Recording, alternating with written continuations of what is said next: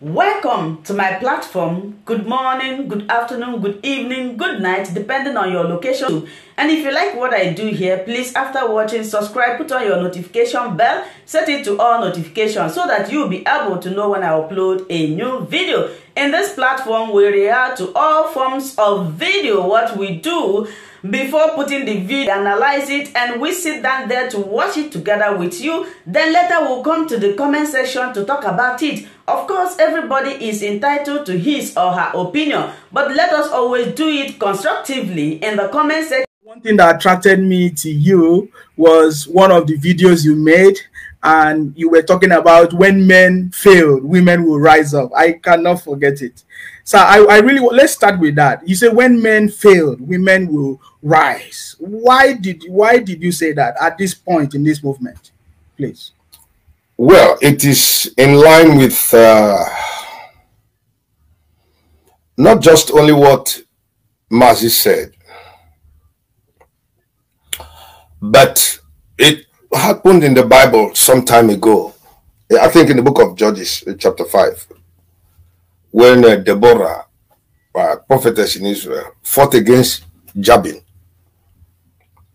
And uh, is it Sisera or something, was a king, and she killed him, which men couldn't do. And she made a uh, prophetic utterance in the in the book of Judges, if I'm not mistaken, chapter 5. So it's not just Mazi saying it, but what he said was true. It was a prophetic uh, declaration, and I saw it and I saw sense in it. So when men fail, definitely women should not just sit down and watch things deteriorate. That's number one. And number two, in a family where men misbehave, women could rise up to defend the family's name, maybe by their work, work or dint of hard work, or maybe their education or their you know defense of the family name based on the activities. So men can fail you hearing me? The Deborah sang a song in Judges chapter 5 when uh, she killed somebody that was a problem to Israel. So when I looked at the way our men were doing, and uh, in respect to what Mazi Nnamdi Kanu said, first of all, I want it to be clear. I don't hate anybody. I don't want anybody to be brought down. But let's look at things objectively. It has nothing to do with what I think or how I feel.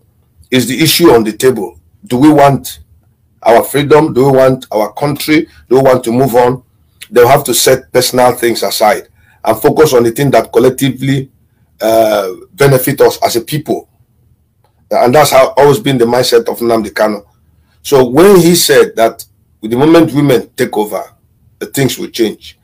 I saw that uh, uh, failure, and then women started coming up in keeping with that prophecy. And uh, he did not just say it based on the fact that he was just talking. I'm sure he was speaking based on either what he foresaw or what he was told, and he was uttering it prophetically, and it was coming to pass. So I had to support them. You can come in families where men are misbehaving, and one girl comes up or the women come up, they begin to work very hard, do this and that. They are the ones that come back to take care of the parents, rehabilitate the family, rejuvenate, rejuvenate everybody. So always give also give women a chance. In America here, women are doing lots of great things. So it shouldn't be different with uh, us Africans or Biafrans. Oh, thank you very much, Mazi. So I, I want to ask you now a direct question to you now. So do you feel at this moment that uh, the men are no longer doing what is expected of them. Do you think that the men have failed us in this movement right from when it happens? So, sorry, let me give you instances. Right from the period of uh, Iruanya them, uh, Ucheme for them, uh, Ralph Uwazuruike them, all of them that emerged and all of that up to this point. Even uh, different place, different people, which we know, most uh, they were mainly men that be that somehow something happened, they will call saboteurs or they betray the struggle. I hope you understand what I'm saying. So, do you think that men have actually failed in this movement? And do you think that there are still men that can still stand up even while the women rise up? Do you think that the men have failed finally, or is there any hope? Please. I like the second question. Do you think that there are men that can still rise up as the women are moving on? I like that question. That's a very good one. And I'm standing on that. Do you understand me? As for the first question, yes. Look, let me tell you. when Jesus was crucified on the cross. In fact, before he was crucified, before they arrested him, all his disciples left him and fled. They were all men. It was the same men, one of them that betrayed him. It's normal. And then, when he was buried, we also understand that men buried him. But on the day of resurrection, it was a woman that stood and, and was there until she had one-on-one -on -one conversation with the with the master, which the men couldn't wait patiently. They left. So she played a very vital role. It's on record. You can't take that away from women. Now, as per our men in Biafra, not all of them have messed up. We're talking about those in authority in DOS whom we looked up to. Because Nnamdi Kanu, look, I don't like when people make some comments. I hear that why did he appoint them since he knows that there were no materials? That was what he had available to work with. You weren't there then, I wasn't there. And they held forth. In the process, there were problems. This one will betray, this one will fall, stuff like this. Now, as time progressed, people started coming in because they were failing, given the circumstance in which we found ourselves. So, it is not all the men in Biafra. Because if you say that you are part of those that have failed, you shouldn't be holding this program. You should be crucified. But you're not part of them that failed. You just came in along the line. And the thing is burning in your heart. You want to see the right things done. So those that are in the authority of Biafra, even among themselves that were leaders of the US that seem to be having misunderstanding among themselves. For example, let me look at uh, Charles Rabbi, the prophet, right? He speaks against them, but he was, he is part of the DOS. So he understands that there's a, a gap in leadership. But that doesn't mean that all the men in Biafra have missed it or men cannot rise up again. Because right now, you are doing something that is talking about men playing their own roles. And there are other men who are doing things underground, which we don't know. Good. So while women are on it working, we should also be available because if we just allow everything in the hands of women, it might go a wrong direction. That's the simple truth. I love Umuada Biafra women, but you know, God has ordained it that women should be under men, not as lords, but you know, it is just an ordination to show that a man takes the first, the first part as respect, but he still accommodates the woman who might give him a better idea that will help both of them move forward. I understand that, but if you don't hold things very well, they might go out of line. Because women sometimes could be emotional. They might go out of line, and if they go out of line, or even if they don't go and succeed, it might create a wrong impression in the future that men no longer have balls, they no longer have brains, they are no longer reliable. So subsequent generations will not even recognize what men are saying after women started it. And the women that may come later may not be as uh, discreet as the women are now. might be girls that will come later and they want to superimpose feminine dominion over men and spoil everything about our tradition, way of life. You understand what I'm saying? Aha. Uh -huh. So our men are there. Still have good men. Wow, thank you very much, Mazi. I always like to listen to your ideology. That's why I'm I'm speaking to you as a pastor because I know your your your your your your ideas is going to be mixed with some kind of um, principle, you know, uh, which is very good, and that is why I want to listen to you. Um, so I want I want I want us to to talk about the situation that we are currently in IPOB uh, I, I, don't know what you think about the kidnap of our leader, Mazi Nnamdi Kanu, with the fact that the DOS, they were not aware of, according to them, that they were not aware after eight days of the kidnap of our leader, Mazi Nnamdi Kanu. And up till now, it's been six months, nothing has been done per se like that we can see even as we know that the lawyers are doing what is they can. But these lawyers were not uh, employed by the DOS. These are lawyers that have been always been there fighting for our freedom, for our leader, and for people that have always been kidnapped and arrested, molested by the wicked government of Nigeria. So let, us just start from there. I'm starting it so that I can give enough time to make a very good, you know, uh, uh, speech and expression to make everybody understand. What do you have to say about this development? That our leader was kidnapped in the capable hands of people surrounding him and working for him. And up to today, it's been six months. The leadership have is like they have lost control. We have not heard from them, and nothing has been done, bringing more confusion in our midst. Please go ahead. Oh, you know, this issue has been discussed over and over again, and almost everybody, even those who are not Biafrans, are aware that uh, Nnamdi Kanu's abduction or kidnap or rendition did not follow the due process of extradition or diplomatic protocols. You know, everybody knows that. So, but the main question now is in respect to the DOS as per his disappearance.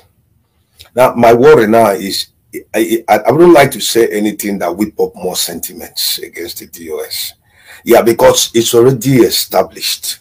Look, bro, it's already established in the whole world to understand that uh, there were flaws and uh, there were actions that lent credence to accusations of conspiracy and uh, sellout, which have not been refuted by them in any way.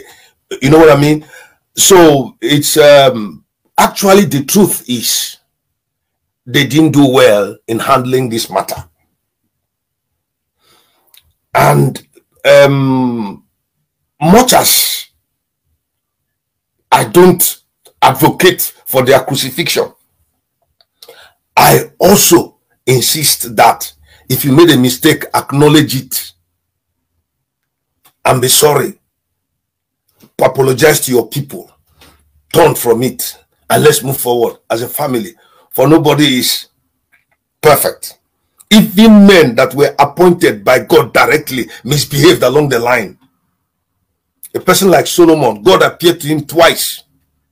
Do you know at the end of the day, for all the two times appearance that God did towards Solomon and gave him wisdom and knowledge and riches. He ended up worshiping idols. And at the end of his life, he died an unbeliever. Biblically speaking, it's here in the scriptures. So there's no guarantee that because God, the only man whom God appointed, came to this world and lived that life that was sinless and perfect was Jesus Christ. Every other man is subject to flaws. The Bible says Elijah was a man of like passions, just like we are. And you know that Elijah at the time uh, interceded against Israel. And that prompted God to tell him, okay, uh, your ministry is about coming to an end because you don't intercede against my people. That's what that's what he was saying. See, I've left 7,000 that have not bowed the knee to bow. And he told him, go and anoint Elisha, the son, son of Shaphat, to be prophet in your stead. And anoint Hazael to be the king of Syria and has it anoint Jehu, the son of Nimshi, to be the king of Israel. So if anybody escapes Elisha, Jehu will kill that person. If anybody escapes Jehu, Hazael will kill that person. So Elijah was taken away. You, you understand what I'm saying? So they made mistakes, terrible mistakes. And you know, it's human nature, especially men, not to acknowledge. If, if you see a man that's able to acknowledge his mistake, that one thing God loves about certain men in the Bible, or all the men in the Bible, was if somebody acknowledges his mistakes and confesses to God, he repents, God forgives him. Like Ahab, he was a very wicked king, and God had planned to destroy Israel and him. But as soon as that prophecy was given, Ahab went back home, walking quietly, humbled himself before God. That same God told Elijah, Have you seen the way Ahab has humbled himself before me? Therefore, this thing shall not come in his generation. In his reign, sorry. So if only they can acknowledge where they made mistake, they, they have really made mistake. They have, in fact, um, that, brings me to Dr. Nelly. She was the one that started talking. And before she started talking, there are evidences based on the information I got from her that she sent letters to Edosium and Co. Look at what is going on. What do we do to fix it? And they weren't listening. Do you understand me? That's one. Then number two, in respect to Mazi's rendition, that's why I don't want to I don't want to raise up anything now. I don't want to bring comments that will raise up sentiment. We all know that they they, they missed it there 100% because if you begin to ask certain certain questions now, it will end up trying to ridicule their person, their ability, and their capacity. So I just want to give a blanket coverage that we all make mistakes. They have, they have made mistakes. If they can repent from their mistakes, ask the Biafran forgiveness, and then move on. But as per what brought about agitations to this level, Dr. Nelly made it plain. And if they had listened to her, maybe what the way the thing had deteriorated, it would have been effectively managed. And number two, we use this now to learn in case of Biafra tomorrow. A very good ministry of publicity, that is a uh, communication, a pub, uh, that is a, uh, sorry, an effective uh, um, uh, this public relations department. It's very, very important for a movement like this. Because when something happens and people are not properly educated or sensitized, they might have wrong opinions. And when you are coming down to talk and you start abusing people, you spoil the whole thing. So that was where they had a problem. They didn't have a, a very good, effective public relations outfit to effectively handle this this problem when it was uh, when it started. I made mention of that from the beginning. Thank you. Hello.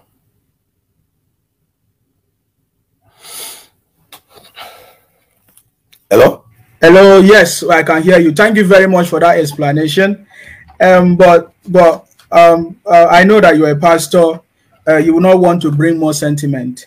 Uh, but but I, but the truth is that they missed it. They did a lot of wrong. Yeah. So you said that is a mistake, and that is where the next question goes. That the DOS made a mistake. Are you still saying that is a mistake for the past six months?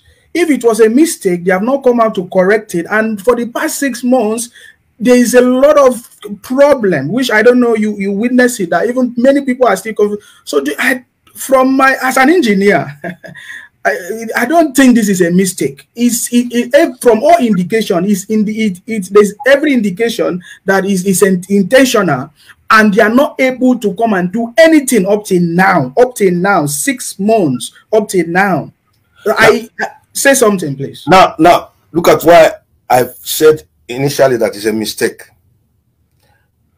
Nnamdi Kanu appointed them and he must have looked into each and every one of them and given them that thing. So, uh, so far, they are still handling that office. Nobody has the right to remove them from the DOS, but loyalty could be shifted from them to somewhere else. So I don't want a situation where somebody comes up. That's why I said even the people that God appointed could make mistake. I don't want somebody, somebody to come and start ridiculing Nnamdi Kanu's sense of judgment by appointing certain people in certain places. That's why I said in the beginning, at the onset, it was a mistake. I don't want to go into all those conspiracy theories because it is a fact. Listen, my dear brother, I have made broadcast on Facebook when uh, Dr. Nelly had made comments that implicated Caroline uh, is it Anya or what they call Nene Anya, Caroline Okura for uh, Kanunta Kanu, she made comments that implicated them. As a matter of fact, um, what's his name? Yah Yahweh. What's that prophet? The one that is married to Nnamdi Kanu's sister.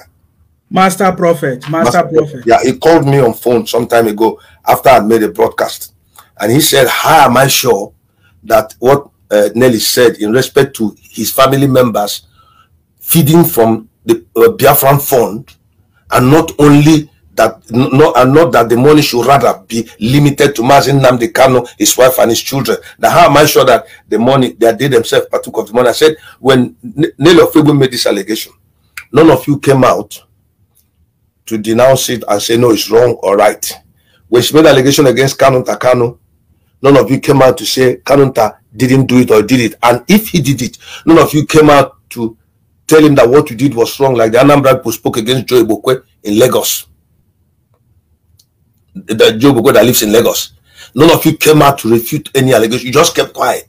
So that lent credence whatever um, Dr. Nelly was saying. And Nelly was also coming out with facts. Then as time was progressing, the character being shown by those in the DOS, the HOD and others was beginning to prove that Dr. Nelly was right after all.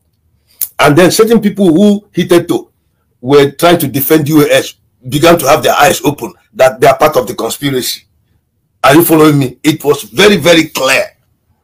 There's no doubt about it. But like I told you, I don't want, I'm not saying that it's a mistake like somebody uh, did something unknowingly that if he had known would have corrected it. If I make a deliberate statement of a conspiracy to sell Nnamdi Kanu, I don't want to fuel any kind of hatred among us, Biafrans, or sentiments against them. You know, so what I'm saying is because as a man of God, I'm for peace. They made a mistake. When Nnamdi Kanu comes out, by the grace of God, Biafra comes. We shall go back into this thing and find out what role did A and B or C play, and then it shall be brought out in the open. Watching this video together with me. Like I said before, if it is your first time of coming across my YouTube channel and you like what I do, please subscribe, put on your notification bell, share this video, leave your comment in the comment section. You are free to criticize, but let us do it always constructively Remain blessed. I appreciate your massive support and I love and cherish each and every one of you. Until I meet you again in my next video, for now, we say bye-bye.